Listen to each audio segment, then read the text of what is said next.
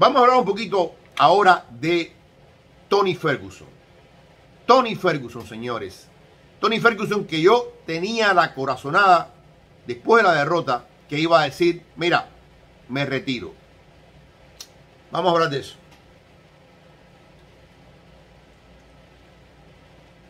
Alguien me preguntaba, alguien me preguntaba, Ebro, ¿qué hubiera pasado si Ferguson hubiese enfrentado a Li Jingliang? ¿Qué hubiese pasado si Nate Díaz hubiese enfrentado a Kansat Chimaev? Yo creo que los dos hubieran perdido. Creo que los dos hubieran perdido. Pero vamos a concentrarnos en el, caso de, Tony Ferguson. Tony Ferguson que lleva cinco derrotas consecutivas. Y yo puedo entender una derrota con Vince Darius. Yo puedo entender una derrota con Charles Oliveira. Yo puedo entender una derrota con Justin Gage. E incluso puedo entender una derrota contra Michael Chandler. Pero creo que lo que pasó esta noche en Las Vegas dice mucho y claro del momento que para mí ya es irrecuperable de Tony Ferguson. Irrecuperable.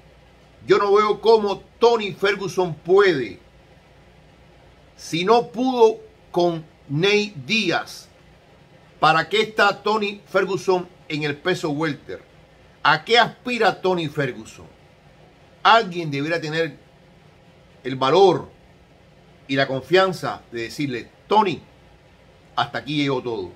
Este es el final del camino.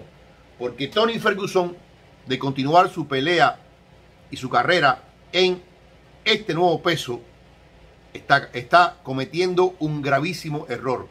Con él, con su hijo, como dice él, que va a jugar béisbol, con su esposa, con la cual cumplió, dice, 10 años de relación. Yo creo que Tony Ferguson debe encontrar esa voz interior que le dice, se acabó, aquí no hay más nada que hacer. Porque esta versión que vimos de Tony Ferguson fue realmente penosa. Si nos impresionó la derrota contra Gagey, nos impresionó la derrota contra Oliveira, la, derrota contra Darius por el dominio absoluto. Y después nos impresionó Chandler con esa patada en pleno rostro. Esto fue patético. Y lo digo con, con dolor, ¿eh? no lo digo ni porque quiero ser mejor que nadie, no lo digo ni porque quiero hacerme el periodista que quiere ser altisonante, ustedes me conocen a mí. Lo digo con dolor, es una demostración patética, patética, patética, patética, porque Nate Díaz no estaba obligado a nada, Nate Díaz se va a ir, no tenía que buscar la victoria por la victoria, el que tenía que encontrar un balón de oxígeno, que tenía que encontrar una forma de continuar camino adelante, era Tony Ferguson. Y Tony Ferguson perdió el camino por completo. Este es un Tony Ferguson que buscó un nuevo gimnasio, buscó nuevos maestros y que nos dijo una vez más que ahora sí, esto, aquello, aquello, aquello. Pero este es un Tony Ferguson que, que no inspira nada. Y ojo, yo entiendo todo lo que pasó, yo entiendo que les cambian el oponente, yo entiendo que eso es complicado, no importa que el cambio sea para Nate Díaz, es un cambio complicado, nadie debiera estar aceptando una pelea en esas condiciones.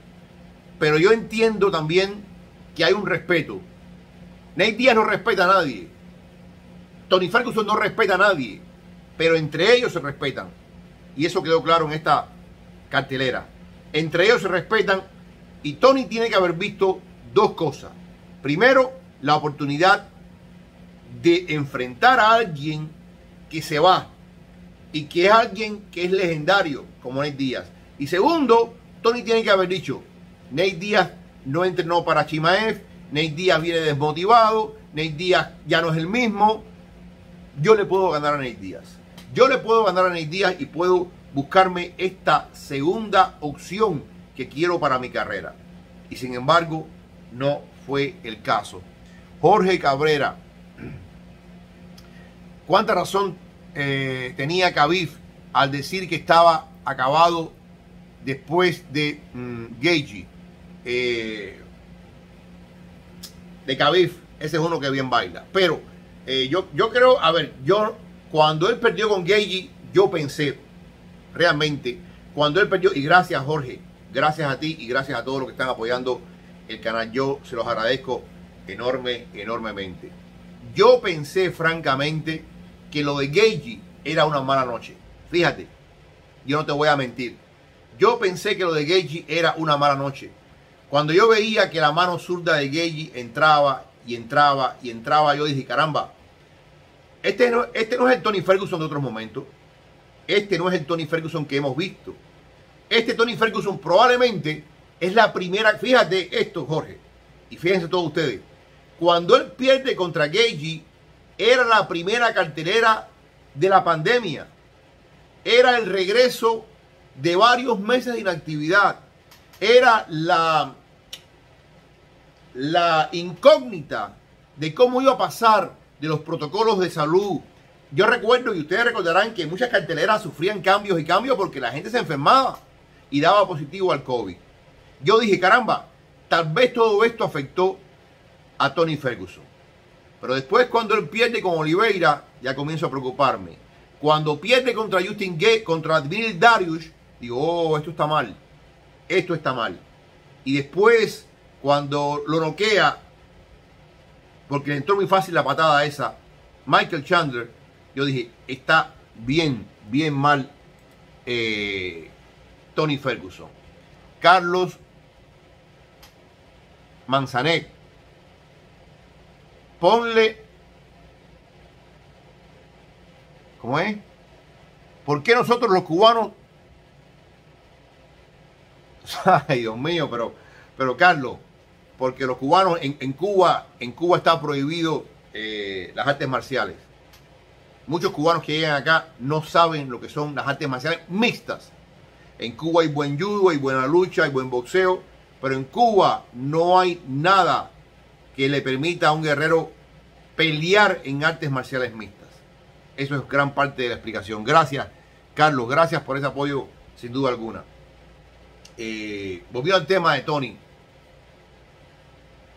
Tony, ¿qué tiene que hacer en esta división? Tony tiene que irse.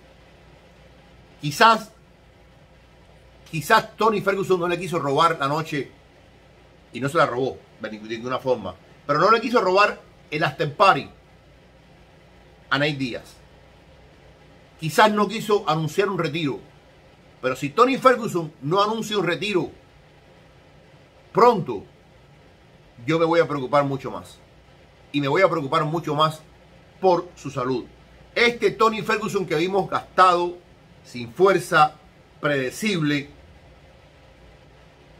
Ustedes se imaginan este Tony Ferguson con cualquiera de Top Fight, cualquiera de estos monstruos que están en el peso welter. Cualquiera.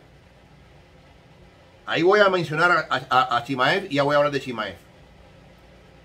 Pero Vicente Luque, Belal Muhammad, Sean Brady, Shakhtar Ragmonov, eh, Colby Covington, Jorge Masvidal, todo el mundo.